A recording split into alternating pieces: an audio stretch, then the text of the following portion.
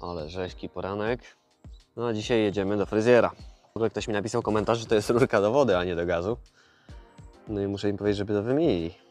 Zimno już. E, dzisiaj trzeba było ubrać skórę. Bardzo rzeźki poranek. Chyba dzisiaj ma być 16 stopni maksymalnie w dzień. Dobra, wskakujemy. Uuu, zimniutko, zimniutko. Portfel mam. E, wycieraczki. Dzisiaj jedziemy tak naprawdę tylko się obciąć, nic więcej. Nie jedziemy myć samochodu, chociaż umyłbym go, ale raczej nie będę go mył. A tutaj teraz widać, bagażnik nam się nie zamknął. Pokazuje też niskie ciśnienie w oponach. Yy, Nie wiem czemu, za każdym razem jak zresetujemy, to wyskakuje na nowo, a ciśnienie niby jest takie samo.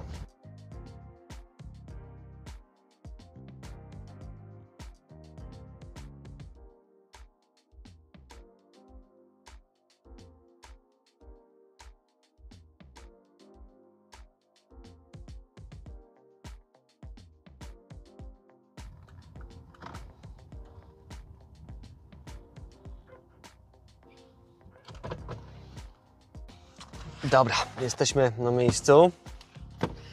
Jak zwykle parkuję sobie przy koście, idę jeszcze kibel zaliczyć. I, I idziemy do fryzjera.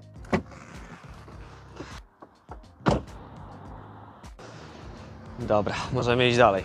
No i ogólnie dzisiaj odcineczek o tym, jak to się stało, że wyjechaliśmy do Anglii, kiedy o tym zdecydowaliśmy.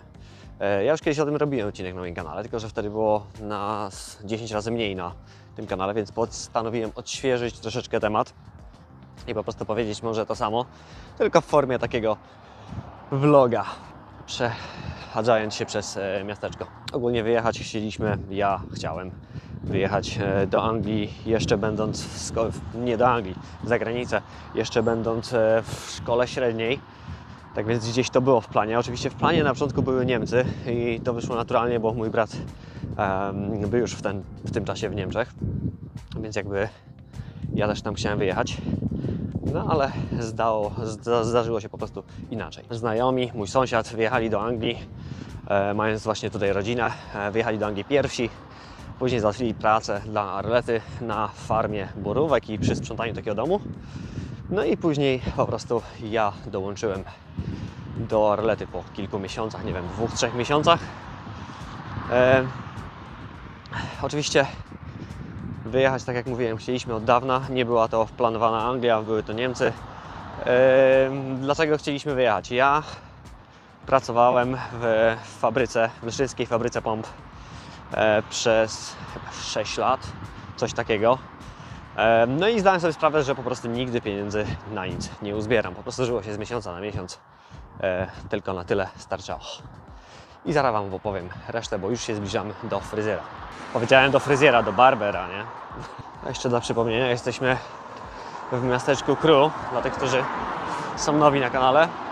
Nie mieszkam w tym miasteczku, ale w tym miasteczku wybieram się zawsze do fryzjera. Że ja mieszkam na Zadupiu, to muszę niestety zawsze gdzieś jechać. Musimy się przedrzeć na drugą stronę drogi w jakiś sposób. Dajmy im wszystkim przejechać.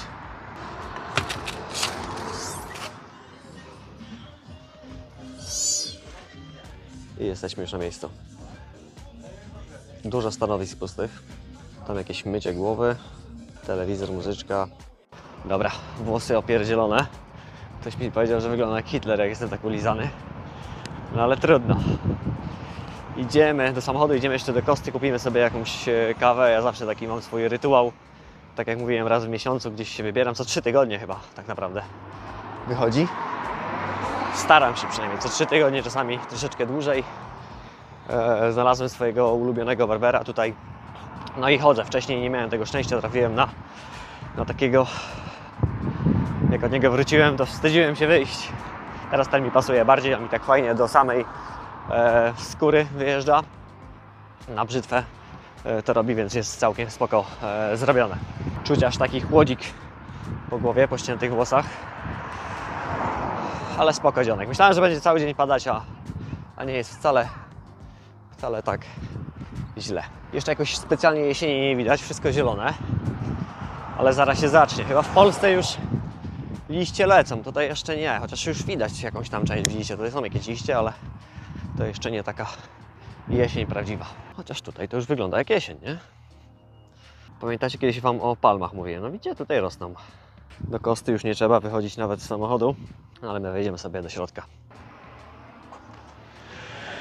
Dzisiaj kolejka nie z tej ziemi.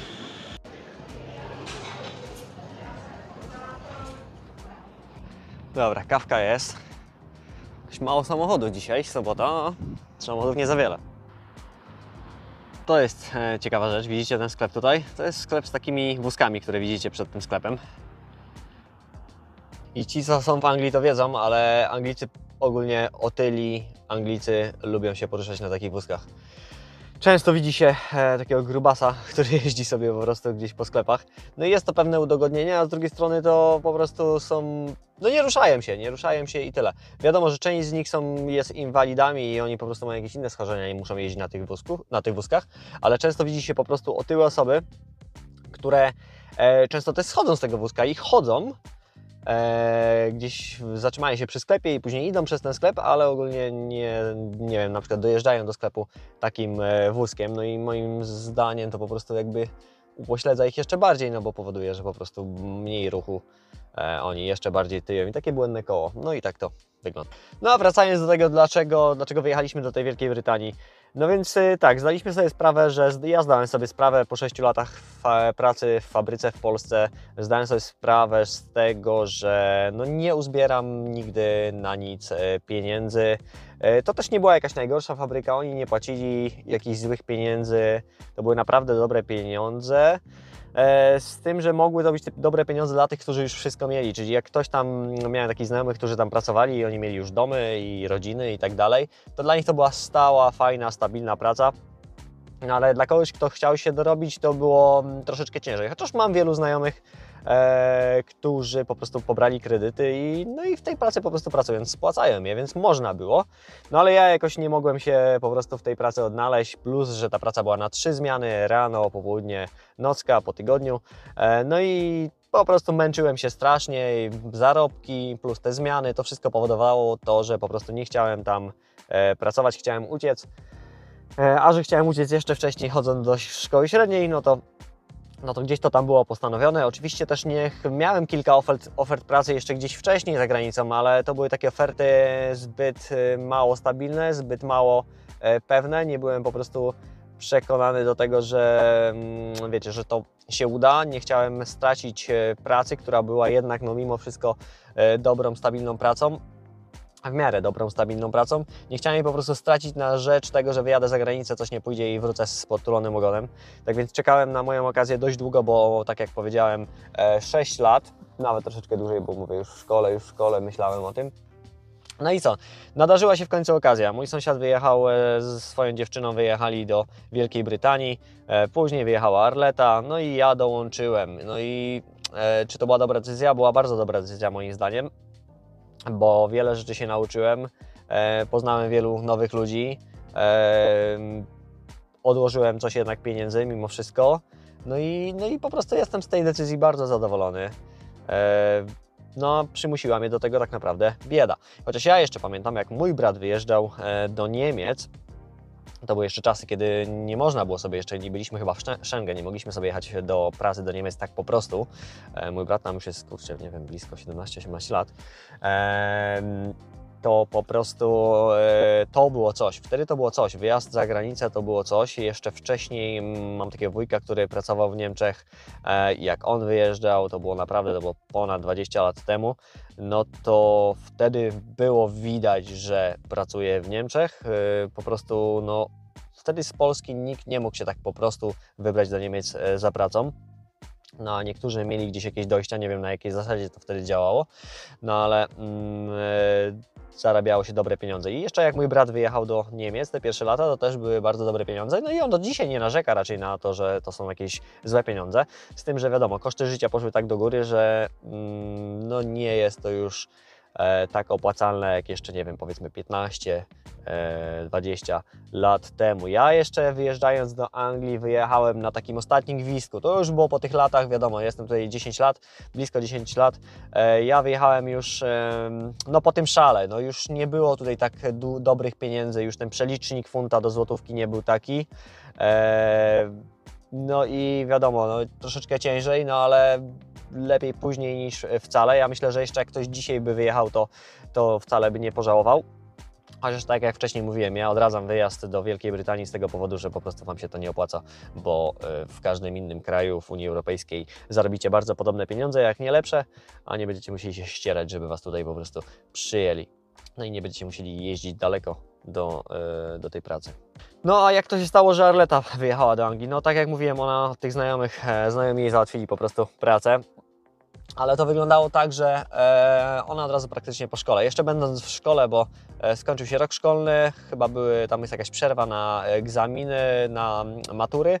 No i Arleta chyba wyjechała i wróciła na matury, coś takiego było.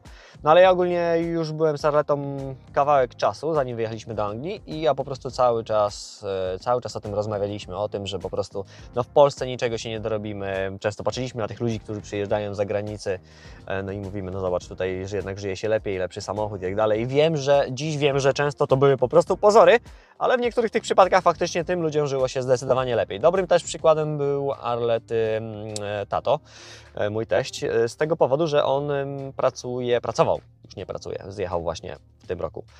Pracował w Holandii, no i też wiedzieliśmy, że po prostu pieniądze są całkiem inne. Każdy z nas, ja i Arleta, mieliśmy w naszych rodzinach po kilka osób, które gdzieś za tą granicą pracowały i one były dla nas takim przykładem, że no zobacz, jednak mimo wszystko widać, że jest tam e, jakiś pieniądz, bo jednak e, kupienie takiego samochodu, kupienie domu i tak dalej, e, no trzeba mieć na to pieniądze. No i to wszystko cały czas nam dawało do myślenia. My mieliśmy cały czas to postanowione. Ja Arlety nie musiałem jakoś e, przekonywać do tego, żeby wyjechała. Po prostu chciała wyjechać. E, razem ze mną, wyjechała nawet przede mną. E, chciała wyjechać, mieliśmy to razem postanowione, więc też fajna sytuacja. E, I z powrotem, z naszym powrotem do Polski mamy mniej więcej takie samo podejście, to znaczy razem mówimy, że jak wrócimy, to wrócimy. Nie mamy jakiegoś wielkiego ciśnienia na powrót, nie mówimy, że nigdy nie wrócimy do Polski, nie mówimy, że na pewno zaraz wrócimy do Polski, chociaż raczej, raczej wrócimy, tak bym to, tak bym to ujął. Jest to gdzieś w naszych głowach zakodowane, że raczej wrócimy, no bo jednak ta sytuacja w Anglii e, no lepiej, lepiej już chyba nie będzie, e, dobrze już było. E, tak jak mówiłem na jednym z poprzednich odcinków, to jak sobie zobaczymy na historię Anglii, to jest po prostu równia pochyła. E, ten kraj powoli topnieje i po prostu jest coraz ciężej, chociaż tak jak mówiłem, też zależy od sytuacji, w jakiej się znajdujemy, jaką pracę mamy, czego szukamy za granicą. Jeżeli nie szukamy pieniędzy, ale szukamy czegoś innego, no to może akurat tutaj to w Anglii znajdziemy.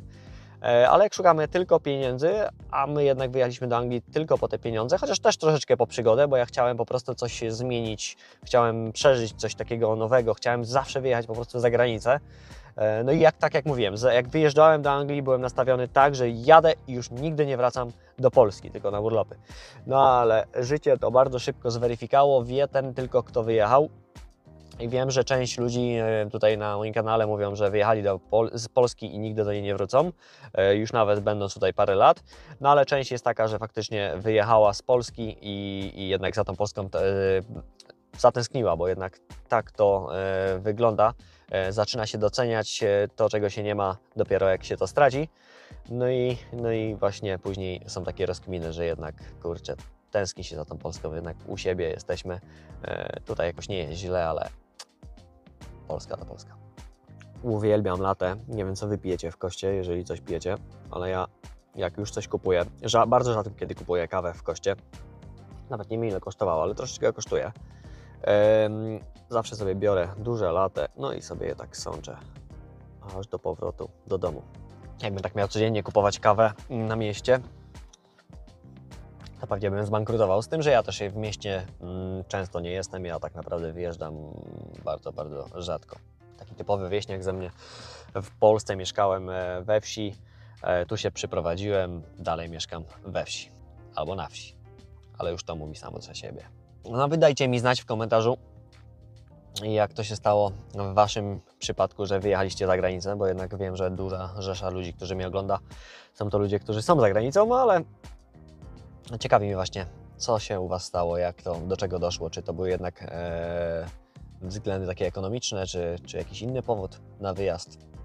No i dajcie znać w komentarzu, z jakiego kraju mnie oglądacie, nawet jeżeli oglądacie mnie z Polski. Też mnie zastanawia, ilu Polaków jeszcze chce wyjechać. Wiem, że czasami gdzieś tam dostaję maile, ktoś chce wyjechać do Wielkiej Brytanii, zawsze to odradzam, ale właśnie zastanawiam się, czy jest jeszcze taki, takie parcie na to, żeby wyjechać, e, wyjechać z Polski gdzieś za granicę do pracy. Czy to, czy, czy to zmalało? Mi się wydaje, że zmalało to parcie, ale mogę się mylić, jednak nie jestem w Polsce.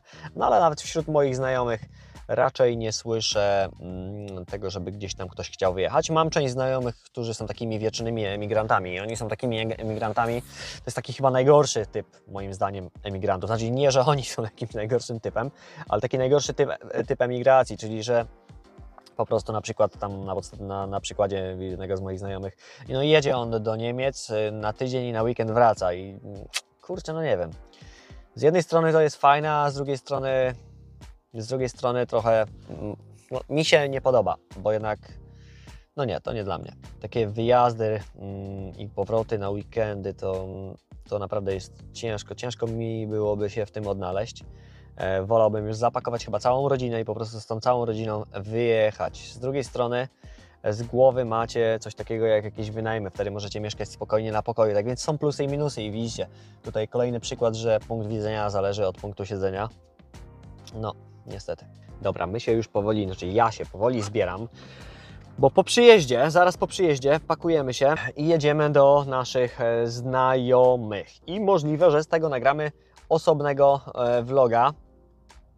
Zobaczymy jak to wyjdzie. Ja jeszcze, jeszcze się z wami, z wami tutaj nie kończę, jeszcze wracamy do domu, jeszcze coś tam chwilę pogadamy. E, No i po 12 chcemy wyjechać. Jest godzina 10.46, 15 po- po 11 będę mniej więcej prawdopodobnie w domu. 20 parę minut zajmuje mi dojazd z Kru do, e, do mojej wichury. I jedziemy. Ja widzę się z Wami już prawdopodobnie na miejscu. Dobra, jesteśmy w domu. Ja już w domu. Idę się ogarniać. E, trzeba sobie zmyć tą fryzurę, bo tak naprawdę od cholery włosów myślałem, że pojadę tak, ale nie pojadę tak. Za dużo włosów wszędzie. E, trzeba się wykąpać. No i jedziemy do znajomych. Mam nadzieję, że nagram w e, kolejnego vloga. E, no i co, do zobaczenia w kolejnym odcinku. Trzymajcie się, cześć!